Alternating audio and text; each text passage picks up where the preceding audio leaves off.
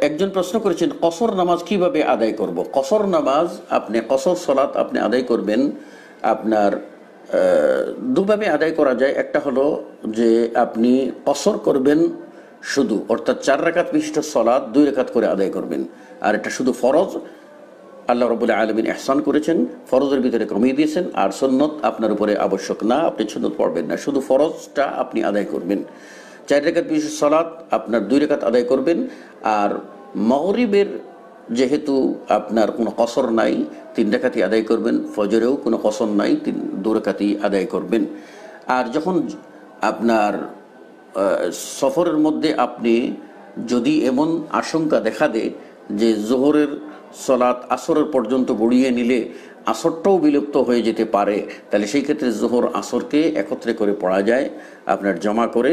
আর আপনি যখন দুই অক্ত একত্রে জমা করে পড়বেন, প্রথম একামত দিয়ে আপনি দুই রেখাত পড়ার পরে সালাম ফেরানোর পরে আরেকটি ইকামত দিয়ে আপনার পরবর্তী অক্তের দ্বিতীয় আরও দুই রেখাত পড়বেন।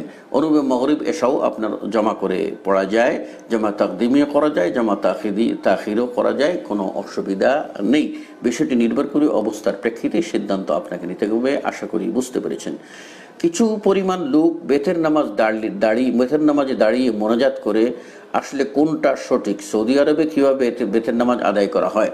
ভাই বেতের সলাদ যখন কেউ আদায় করবে, শেষ রেখাতে যখন সে কনুত পড়বে, দোয়ায় কনুত যখন পড়বে, তখন আপনার এই দোয়া কনুতটা হচ্ছে একটি বিশেষ দোয়া। এটাই মোনাজাত। এটাকে আপনার আদায় করা যায় এই রুকুর আগেও আদায় করা যায়, রুকুর পরেও আদায় করা যায়। আর এই আদায়ের সময়ে দুহাত উঠিয়ে আদায় করা একাধিক সাহাবি থেকে এ আমল প্রমাণিত। কাজেই আপনি দুহাত উঠিয়ে করতে পারেন, অথবা আপনি যদি স্বাভাবিকভাবে যেখানে হাত বাঁধেন সেখানে রেখেও আপনি দোয়াটি পাঠ করতে পারেন, আপনার সলাৎ হয়ে যাবে। সৌদি আরবে কীভাবে করল সেটা স্মর্তব্য নয়, তবে আমরা যেটুকু দেখেছি সেটা হলো তারা আপনার রুকুর পরে কনুদটা হাত উঠিয়ে পড়ে থাকেন। আল্লাহ আলম। এবার আরেকজন প্রশ্ন করছেন, রাগের মাথায় যদি বউকে তিন তালাক বলে, তবে কি তালাক হয়ে যাবে? আর যদি তালাক হয়, তার জন্য করণীয় কি? ভাই, তালাক এমন একটি বিষয়, যে বিষয়ে রসুল সাল্লাহ আসলাম বলছেন যে এই জিদ্দুহুন্না জিদ্দু হাজলুহুন্না হাজল। হাজলুহুন্না জিদ অর্থাৎ এটা, এই তালাকটা হচ্ছে এই রকম যে তালাক নিয়ে যদি আপনি ধীর মাথায় কিছু বলেন সেটাও ঠিক, আর আপনি যদি পাগলামিও করে কিছু বলেন, অর্থাৎ গরম হয়েও মানে ঠাট্টা করেও কিছু বলেন, তালাক বলে ফেলেন, তাহলে এটা ওয়াকে হয়ে যাবে হয়ে যাবে। কাজে রাগের মাথায় কেউ যদি স্ত্রীকে তালাক দেয়, সেটা তালাক বলেই গণ্য হবে, তালাক হয়ে যাবে। এখন তালাকটা কীভাবে তিনি দিয়েছেন, তার উপরে ফতোয়া নির্ভর করবে। তিনি কি এক বৈঠকে তিন তালাক দিয়েছেন? তিনি কি তহুর অবস্থায় দিয়েছেন? না তিনি কি মিন্স অবস্থায় দিয়েছেন? এটি বিবেচনা করেই তালাকের ফয়সালা, ফতোয়া নিতে হবে। তালাক মনে রাখতে হবে যে আল্লাহ আল্লাহ রবুল্লাহ কোরআনে বলছেন, আত্তালাক ওমর রথান দুবার তালাক দিয়ে ফেরত আনা যায়। তৃতীয়বার যদি মেয়াদ অতিক্রম করে, অর্থাৎ মিন্স পার হয়ে যায়, পিরিয়ড পার হয়ে যায়, তাহলে অটোমেটিক বিচ্ছিন্ন হয়ে যাবে। এটাকে আও তসরি হম্বি এহসান আল্লাহ বলেছেন, বিচ্ছিন্ন হয়ে যাবে। এই তালাককে বলা হয় তালাকের রেজেই এইরকম তালাক যদি কেউ দেয়, তাহলে তার স্ত্রীকে ফিরত পড়ার উপায় আছে। পক্ষান্তরে সে যদি তিন তুহুরে একে একে একটি ঋতু অতিক্রম করার পরে একবার তালাক দিল, আবার ঋতু অতিক্রম করার পরে আরেকবার তালাক দিল, আবার ঋতু অতিক্রম করার পরে তিন তালাক যদি দিয়ে দেয়, ওই তালাক, এটা হলো বাইন তালাক হয়ে যায় এবং এটা ফেরত আনার উপায় থাকে না। যতক্ষণ না ওই মহিলার যদি অন্য কোনো জায়গায় বিবাহ হয়, আর ওই দ্বিতীয় স্বামী তাকে ব্যবহার করে, তার সাথে ঘর সংসার করে, তারপর ওই স্বামী যদি মারা যায় অথবা স্বামী যদি তাকে ছেড়ে দেয়, তাহলে আপনার ইদ্যত পালনের পর প্রথম স্বামী যদি আবার তাকে বিবাহ করতে চায়, নতুন করে প্রস্তাবের মাধ্যমে তাকে ফেরত আনতে পারে, আশা করি বুঝতে পেরেছেন। এবার আরেকজন প্রশ্ন করেছেন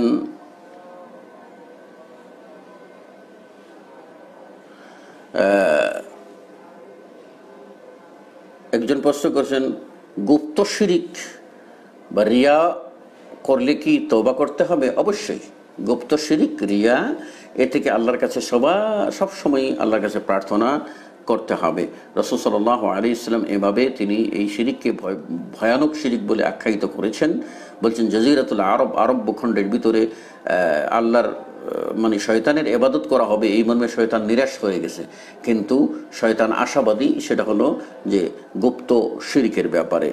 কাজেই আপনাকে গুপ্ত শিরিপ থেকে সবসময় আল্লাহর কাছে আশ্রয় প্রার্থনা করতে হবে।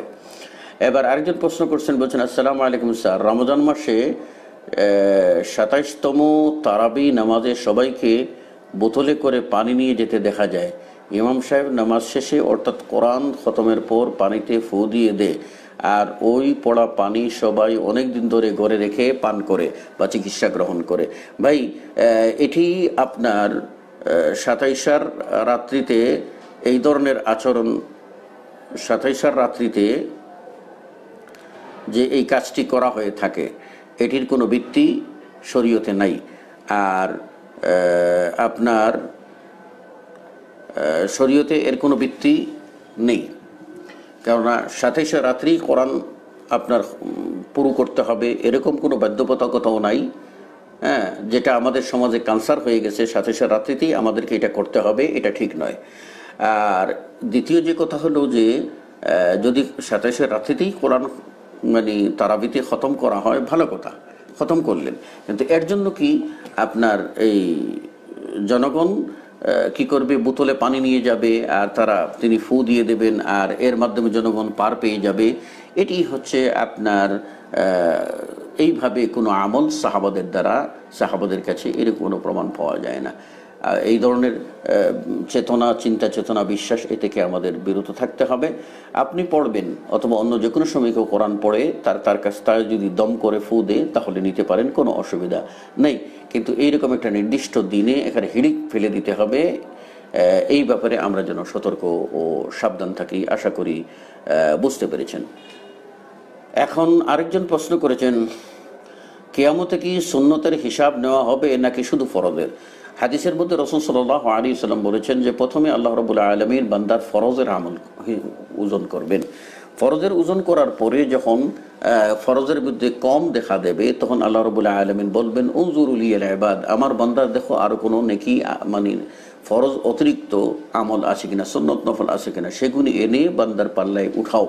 কাজেই ফরজের হিসাব তো নেবেনি আর ফরজের ক্ষেত্রে কিয়ামতের দিনে এই সন্ন্যত নফলগুলি সহায়ক শক্তি হিসাবে কাজ করবে আশা করি বুঝতে পেরেছেন। ফজরের সুন্নত না পড়তে পারলে তা মগরিবের ফরজের পর পড়া যাবে। ফজরের সুন্নত না পড়তে পারলে এটা আপনার জামাতের আগে যদি না পড়তে পারেন, তাহলে জামাতের পর যদি সূর্য ওঠার মাঝখানে সময় থাকে, তাহলে দুই রেখাত পড়ে নেবেন। এমনটা সাহাবি পড়েছিলেন, রসুল সাল্লাম তাকে সমর্থন করেছিলেন। আর যদি দেখা যায় যে সেরকম কোনো সুযোগ নেই, সূর্য উঠে যাচ্ছে, তাহলে সূর্য উঠার পরে পড়বেন। আর সূর্য ওঠার পরে পড়তে না পারলে যে কোনো সময় এটি পড়ে নেবেন, আশা কোনো অসুবিধা নেই, আশা করি বুঝতে পেরেছেন। প্রশ্ন করেছেন, ফজর নামাজের পর হাসরের তিন আয়াত পড়া কেন বেদায়াত? কারণ হাসরে হাসরের যে তিন আয়াত আলিমুল গাইবি ও শাহাদা থেকে শুরু করে যে শেষ পর্যন্ত তিনটি আয়াত, এই তিনটি আয়াত সম্পর্কে যত হাদিস বর্ণিত হয়েছে, সবগুলি হলো ওয়াইফ কাজেই এই নির্দিষ্ট করে আপনার এই আয়াত তিনটি পড়া ঠিক হবে না, বেদায়াত হবে। আর এতে যেহেতু আল্লাহর সিফাত বর্ণিত হয়েছে, আপনি অনির্ধারিতভাবে যে কোনো সময় আপনি পড়তে পারেন ইনশা আল্লাহ এতে কল্যাণ থাকবে। এবার আরেকজন প্রশ্ন করেছেন শেখ, আসসালামু আলাইকুম, কেউ কি শুধু জুমার সলাত আদায় করে, করলে সে কি মুসলিম থাকে? ওয়ালাইকুম আসসালাম রহমতুল্লাহি ও বরাকাতু ভাইজান যে বলেছেন, কেউ যদি জুমার সলাত আদায় করে তাহলে সে মুসলিম ফাঁসেক। সে পূর্ণাঙ্গ মমিন থাকবে না। একে মুসলিম ফাঁসেক বলা হয়। আর একক্ত ফরজ সরাতের ব্যাপারেও কোনো কোনো আলিম প্রকাশ্য বলেছেন যে, যেহেতু আল্লাহ বলছেন, ইন্না সলাত খানা তাল মুমিনা কিতাব মাকুতা। মানে মুমিনদের উপরে সলাৎ অক্ত ব্যক্তিক নির্ধারিত ফরজ। কাজে এক অক্ত সলাতও কোনো মুমিন যদি সময় ইচ্ছাকৃত অতিক্রম করে, তাহলে সেটাকে কুফুরি বলে আখ্যায়িত করা হয়েছে। কাজেই যেহেতু তিনি এই লোক আপনার আল্লাহকে স্বীকার করেন এবং অন্তত জুমার সলাৎ আদায় করেন, তিনি মমিন বলে দাবি করতে পারবেন, তবে তিনি পূর্ণাঙ্গ মমিন নন, তিনি ফাঁসেক মমিন। কাজে এই মুমিনকে সংশোধন হয়ে পূর্ণাঙ্গ মুমিন হওয়া উচিত। আল্লাহ তৌফিক দান করুন, হেদায়ত দান করুন। একজন প্রশ্ন করে বলছেন, আসসালামু আলাইকুম জনাব, আমি আসলে জানতে চাই যে বিয়ের মহারণা কি বউ চাইলে মাফ করে দিতে পারবে? যদি তার স্বামী তার বউয়ের কাছে মাফ চেয়ে নে সেক্ষেত্রে বউয়ের করণীয় কি? প্রথম কথা হলো, বলব ওয়ালাইকুম আসসালাম। ভাইজান মোহরণাটা হচ্ছে স্ত্রীর হক। আর মোহরণা পরশুদ ব্যতীত স্ত্রীকে বৈধভাবে ব্যবহার করা যায় না। এজন্য মোহরণা কিছু হলেও দিয়ে স্ত্রীকে আপনি বৈধ করে নেবেন। কিন্তু বাকি যেটি থাকল সেটা অবশ্যই বাকি রাখেন যদি, তাহলে এটা পরিশোধযোগ্য বাকি, অর্থাৎ পরিশোধ করবেন, এই মর্মে বাকি রাখবেন। পরিশোধ করবেন না প্রথনা করবেন, এটা সম্পূর্ণরূপে না যায় রসুল সাল্লাহ আলী ইসলাম থেকে একটি হাদিসে রয়েছে যে, কেয়ামতের মাঠে এই স্ত্রীর এই পাওনাটা পরিশোধ না করা পর্যন্ত স্বামী সামনে পা ফেলতে পারবে না। এক্ষণে প্রশ্ন হলো যে মহারণা বউ চাইলে কি মাফ করে দিতে পারে? আল্লাহ রবুল্লান কোরআন করিম বলছেন, যদি স্ত্রী স্বেচ্ছায় কিছু অংশ দেয় ফাকুলু হানি আম্মারিয়া তাহলে তোমরা সেটা সানন্দে খাও। স্বেচ্ছায় যদি কিছু দে, তাহলে তোমরা খাও। এর অর্থ কি? আপনার দ্বিতীয় অংশ যে স্বামী তার কাছে মাফ চেয়ে নেবে, কেন মাফ চেয়ে নেবে? এটা মাফ চেয়ে নেবে, এটাই তো হচ্ছে জোর করে তার কাছ থেকে খাওয়ার একটা কৌশল বা বাহানা, এটা জায়েজ নয়। আপনি মাপ চেয়ে নেবেন কেন? আপনি পরিশোধ করবেন মর্মেই তো তাকে বৈধ করেছেন। যদি আপনার পরিশোধ করার এবিলিটি না থাকতো, তাহলে কেন আপনি মরণ নির্ধারণ করেছেন? কেন আপনি বিয়ে করেছেন? রসুল সাসন তো পরিষ্কার বলে দিয়েছেন যে যে যে পুরুষ ইয়ামা সারাসাবা মানিস্তাতা আমিন কমল বা আফালিয়াতে জওয়াজ তোমাদের মধ্যে যে ব্যক্তি বরণ পোষণ দিতে পারবে, শারীরিক সক্ষমতা রাখবে, সে যেন বিয়ে করে। আর যে সমর্থ রাখবে না, তার ক্ষমতা নাই মহারণা পরিশোধ করতে পারবে না, তাকে রসুলাম বলছেন ফালেহি সৌম সে যেন সিয়াম পালন করে, রোজা রেখে যেন তার জৈবিক চাহিদাকে সে কন্ট্রোল করে। কাজেই এটা কিন্তু তামাশা নয়। আপনি মাফ চেয়ে নেবেন, এটা বাহানা, এটা করা যাবে না। রসুল সাল্লাহ আলী বিয়ের ব্যাপারে সাহাবিকে বলছেন যে, বিয়ে করতে চাও? ইলতামিস ওলাউবি খাতাম হাদিদ। তুমি বিয়ে করতে চাও। তুমি একটি লোহার আংটি হলেও নিয়ে আসো। মহারণা ছাড়া হবে না। কাজেই মহারণা পরিশোধ করতে হবে। স্ত্রীর কাছে মাফ চাওয়া কোনো অবস্থাতে ঠিক হবে না।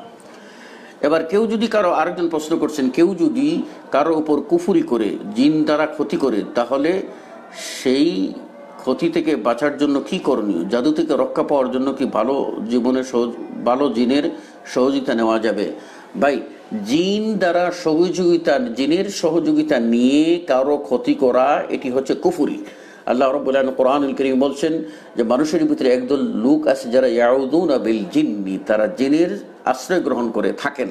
কাজে জিনের আশ্রয় গ্রহণ করে মানুষের উপর ক্ষতির চিন্তা করা, এগুলো হলো কুফুরি। আর এ থেকে বাঁচার জন্য আপনি নিয়মিত আমল করবেন। আপনি পাঁচক্ত সালাতের পরে আয়াতুল কুরসি পাঠ করবেন। তারপর আপনি রাত্রি ঘুমাবার আগে আপনার সোরা এখলাস এবং সোরা না সোফারাক পড়ে শরীরে দম দিয়ে, ফু দিয়ে তারপর আপনি ঘুমাবেন। আপনি লাহ ওয়াহদুল্লাহ শরিক আল্লাহুল মুরকুল আলহামদুল্লাহ কাদির। কমপক্ষে দশবার পারলে একশতবার করে পাঠ করবেন। এরপর আপনি ঘর থেকে বের হওয়ার সময় বিসমিল্লাহ তওয়াক্কালতু আলাল্লাহি ওয়ালা হাওলা ইল্লা বিল্লাহ করে আপনি এইটা পাঠ করে বের হবেন। আপনি যখন ঘরে ঢুকবেন, বিসমিল্লাহ ওয়ালাজনা, বিসমিল্লাহ খারজনা, এই দোয়া যেটা আছে, সেই দোয়াটা পাঠ করে আপনি বিসমিল্লাহ বলে সালাম দিয়ে ঘরে প্রবেশ করবেন। এভাবে যদি আপনি কাজটি করতে থাকেন তাহলে এগুলি আপনার জন্য শয়তান থেকে রক্ষার হাতিয়ার হিসাবে কাজ করবে। আল্লাহ আপনার প্রতি সহায় হবেন। আর জাদুর চিকিৎসা কোরআনের এই আয়াত পড়ার মাধ্যমেই গ্রহণ করতে হবে। জাদুর চিকিৎসা কোনো জিনের সাহায্যে বা তথাকথিত জাদুঘরের সাহায্যে গ্রহণ করা যাবে না। কেননা এটাকে আল্লাহ রবুল আলমিন কোরআন করিমে কুফুরি বলেছেন, ওমা কাফার সুলাইমান, ওমা ওলাকিন্না সয়াতিনা কাফার ইউ আলিমুন্না সেহর। সুলাইমান কুফুরি করেনি, বরং শয়তান কুফুরি করেছে, মানুষকে জাদু শিক্ষা দিয়েছে। এবার একজন প্রশ্ন করেছেন যে বলছেন আসসালাম আলাইকুম রহমতুল্লাহ। আমাদের দেশে একামত দুইবার করে বলা হয়, আর সৌদি আরব একবার করে পড়ে সঠিক কোনটা? ভাই, আপনাকে এই একামতের জবাব জানার আগে একটা জিনিস জানতে হবে, যে তথ্যটা আমাদের অনেকের কাছে অজানা, আমরা দেই না। আজান কিন্তু দুই প্রকার। একটা হলো বেলালি আজান যেটা আমরা মক্কা, মদিনা সহ এখন সর্বত্র দিয়ে থাকি এবং আমরা জানি। আরেকটা হলো তারজির আজান যে আজানটা হবে শাহাদাতাইনের বাক্যগুলি। আপনার শাহাদাতাইনের বাক্যগুলি আপনাকে অবশ্যই ডবল করে বলতে হবে। অর্থাৎ প্রথমে আপনি আসাদু আল্লাহ ইলাহা ইল্লাল্লাহ আসাদু আল্লাহ ইলাহা ইল্লাল্লাহ আসাদু আল্লাহ মাহমদ রসোল্লাহ আসাদু আল্লাহ মাহমদ রসোল্লাহ বলবেন। এরপরে আবার জোরে আসাদু আল্লাহ ইলাহা থেকে রিপিট করবেন। এই রিপিট করে যে আজানটা দেওয়া হয়, এই আজানটা সাহাবি আবু মাহজোরা থেকে সহি মুসলিমে বর্ণিত হয়েছে। কাজেই এই আজান দুই প্রকার, সুতরাং সেই হিসাবে একামতও দুই প্রকার হবে। একটা হচ্ছে বেলালে আজানের একামত যেটা হলো একবার একবার করে দেওয়া হয়, সৌদি আরব দেওয়া হয়, এবং এখন বর্তমান বিশ্বের সর্বত্র যারা সহি হাদিসকে অগ্রাধিকার দেন সহি সুন্নাকে যারা অগ্রাধিকার দেন, তারা দিয়ে থাকেন। সেটা হলো একবার একবার করে। গায়ের কাদকামতি সলাহ কাদকামতি সলাহ ডবল থাকবে আর বাকি সব একবার একবার করে আল্লাহ আকবর আল্লাহ আকবর সাদু আল্লাহ ইলাহা ইল্লাল্লাহ আশহাদু আন্না মুহাম্মদ রাসূলুল্লাহ হাইয়া আলা সালাহ হাইয়া আলা ফালাহ قد قامت الصلاة قد قامت الصلاة আল্লাহু আকবর আল্লাহু আকবর লা ইলাহা ইল্লাল্লাহ এইভাবে আপনার দেওয়া আর যদি কেউ তারজির আজান দেন তাহলে তিনি কিন্তু আহ, যেটা আমাদের সমাজে প্রচলিত আছে দুইবার দুইবার করে একামত দেওয়া আজানের মতো করে তাহলে সেই একামতটাও জায়েজ আছে আহ, এবং সেটাও কেউ দিতে পারেন। তবে মনে রাখবেন যে সাহাবি আবু মাহজোরা এবং তার পুত্র, তারা নিজেরা কিন্তু এই ডবল একামতের হাদিস বর্ণনা করেছেন, কিন্তু নিজেরা ডবল একামত দেন নাই, একবার একবার করে একামত দিয়েছেন। অগ্রাধিকার ভিত্তিতে, বিশুদ্ধতার দিক থেকে সেটাই সবচেয়ে বেশি অগ্রাধিকার পায়। পক্ষান্তরে কেউ যদি দুই দুইবার করে একামত দেন, তাহলেও তার একামত সহি বলে গণ্য হবে, আশা করি বুঝতে পেরেছেন। আরেকজন ভাই প্রশ্ন করেছেন প্রথমেই আসসালামু আলাইকুম। হজরত আমি জানতে চাই, ইমাম অসুস্থ হলে বসে ইমামতি করা জায়েজ আছে কি? ইমাম যদি অসুস্থ হন, তাহলে তিনি বসে ইমামতি করতে পারবেন, কোনো অসুবিধা নেই।